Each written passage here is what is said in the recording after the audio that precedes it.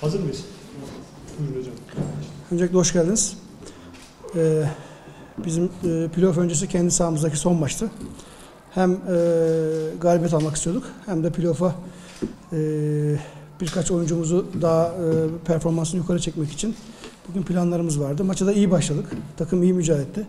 Skor avantajını da yakaladık. E, 2-0'dan sonra e, ciddi anlamda geçiş e, fırsatı yakaladık. Bunları değerlendiremedik.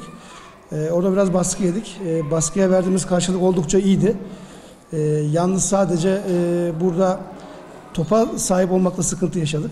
Yani biz e, playoff'ta bu tarz durumlarda topa daha çok sahip olmamız lazım. E, 2-0 maçı 3-0'a 4-0'a getirebileceğimiz fırsatları yakaladık. Ama geçişlerde top kontrollerinde biraz daha ritmi düşük paslar yaparak bu fırsatları ilk yarı itibariyle kaçırdık. İkinci yarı rakip bir formasyon değişikliği yaptı. Ee, biz de ona göre oyuncularımıza e, kenardan e, gereğini söyledik. E, ama e, iki tane, 2-0 önde olan bir takım iki tane geçiş hücumu e, bir şekilde yememesi lazımdı. İki tane geçiş hücumuyla maç e, 2-2 oldu. Ondan sonra gereken baskıyı kurduk. E, pozisyonları da yakaladık ama maalesef bu pozisyonları e, skora e, çeviremedik. Burada bir de maçın hakemiyle ilgili birkaç şey söylemek istiyorum. Sadece bugünle alakalı değil, sezon e, başından beri Şimdi Erzurumspor güçlü bir camia, iyi bir camia, büyük bir camia, bir şehir takımı, e, önemli bir kültürü e, temsil eden e, bir camia ama bize bur- burada bütün hakemler gelip köy takımı muamelesi yapıyor.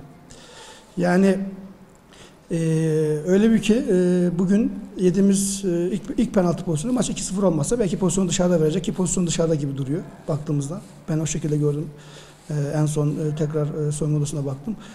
Daha sonraki pozisyonda Mustafa Yumlu'ya çok net faul var. Hatta belki kırmızı karta da gider var olmuş olsaydı. Faul de vermiyor ve o, gol, e, o pozisyonda gol yiyoruz. Maç 2-2 oluyor. Yani burada e, biraz son haftalarda genelde hakemler kimin neye ihtiyacı varsa biraz e, o yönde bir takım e, kararlar verebiliyor. Ama burada bir mücadele var. Bizim de bir hedefimiz var. Sonucunda bu ligi 3. ya da 4. bitirmenin de bize göre bir hedefi var. 5. bitirmek de belki bir avantaj olabilir onu bilemiyorum ama bu hakemin işi değil. Yani bakalım playoff'ta karşımıza ne çıkacak. Yani bir- birçok e, maçlara çok tecrübeli deneyimli hakemler verirken bize genelde e, bu verilmiyor. Yani e, bu sene bu konuda Erzurum spor olarak inanılmaz bir mağduriyetimiz var. Onu da anlamış değilim niçin. Ama bu konudaki ge- gereken serzenişlerimizde gereken yerleri de bir şekilde söyleyeceğiz. Teşekkür